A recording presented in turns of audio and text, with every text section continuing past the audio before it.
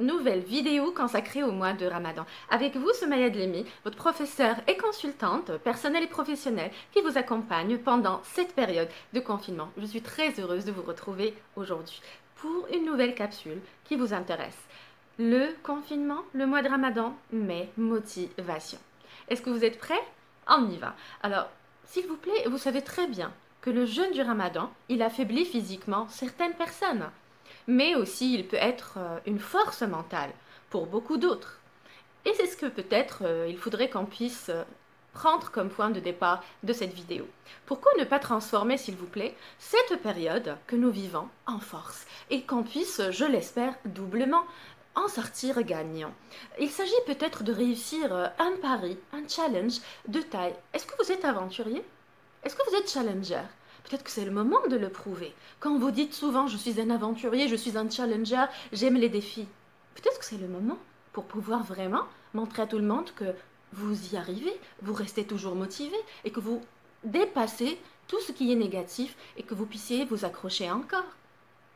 Alors, pour sortir gagnant et rester motivé, il s'agit d'un pari comme je viens de signaler, mais considérez-le comme un nouveau cap comme un nouveau cap vers la découverte de votre propre personnalité. Lorsque vous êtes ami avec vous-même, même lorsque vous êtes seul, vous n'êtes jamais seul parce que vous avez vous-même avec vous. Donc vous pourriez vous motiver vous-même.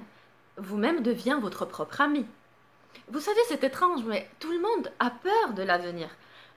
Donc, et tout le monde a peur aussi, euh, pendant ce mois de, de ramadan, de devenir faible, de ne plus y réfléchir, faible physiquement et mentalement.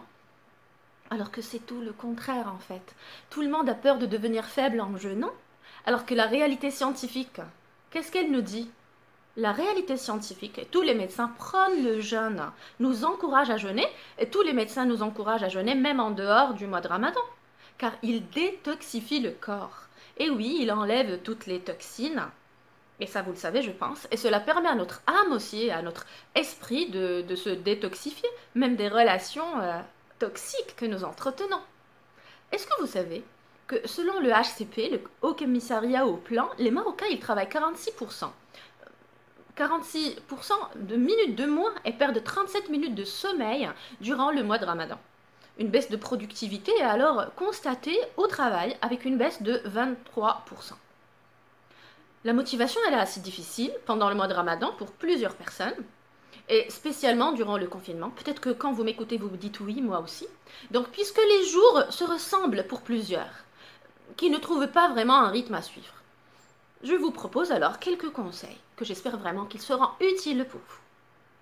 S'il vous plaît, premier conseil, ne vous cachez pas derrière des prétextes. Ne considérez pas comme dire le jeûne comme la raison de votre démotivation. Ne dites pas oui parce que je jeûne, je suis démotivé. Ça n'a aucune relation. 2.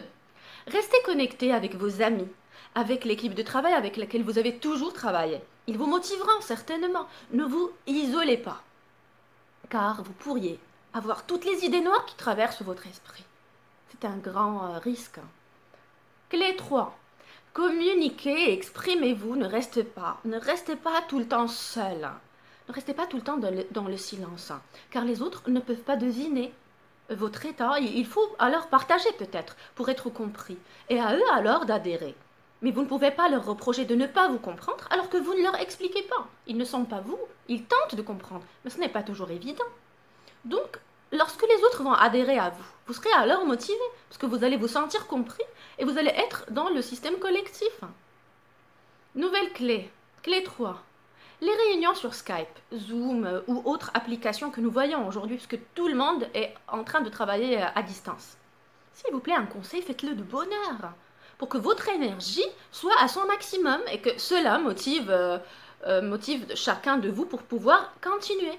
Donc le télétravail comme alternative pour une meilleure performance, oui, mais repérer, on va dire, le bon moment. Quatrième conseil, repérer les voleurs de temps. Pour pouvoir vous expliquer, les voleurs de temps sont les petites euh, actions dans les, ou les petits timings dans lesquels vous ne faites absolument rien. Peut-être que ces petits moments-là, vous pourriez les exploiter. Parce que arriver à la fin de la journée et dire Oh là là, la journée s'est tellement passée tellement vite, je n'ai absolument rien fait. Peut-être que on peut changer cela ensemble, vous et moi. Donc choisissez le moment opportun pour pouvoir travailler. Lequel moment? C'est lorsque du bruit, enfin, il n'y en a plus. Parce que euh, les membres de la famille font un petit euh, break, ils sont en train de faire quelque chose.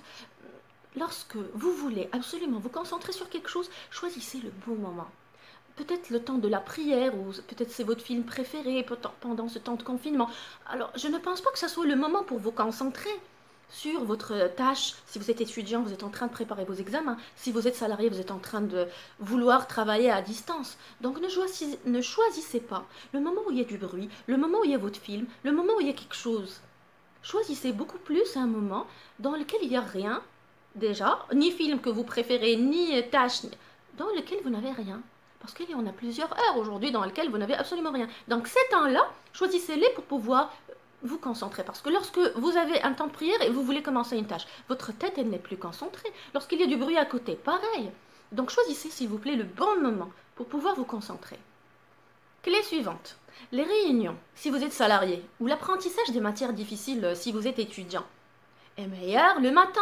Et laissez les tâches euh, routinières pour l'après-midi lorsque votre corps perdra beaucoup plus son énergie et sa motivation.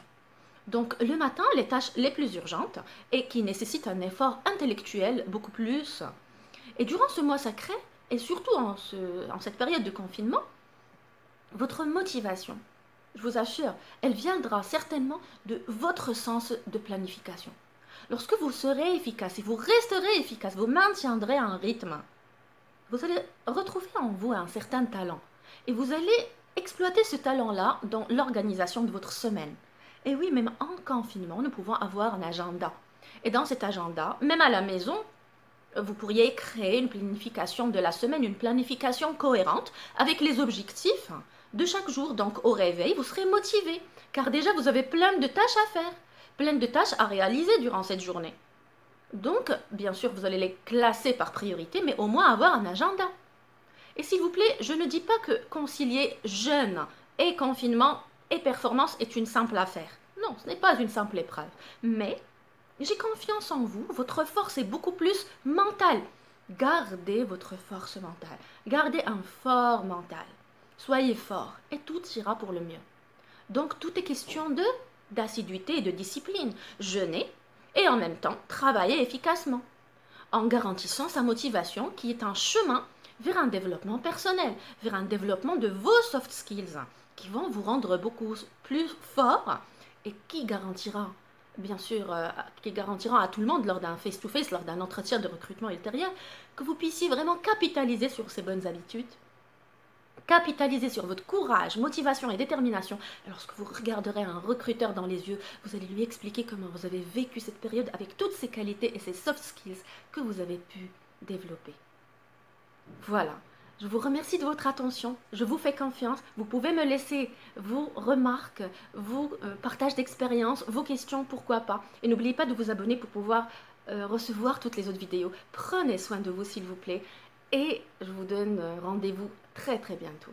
Bonne fin de journée.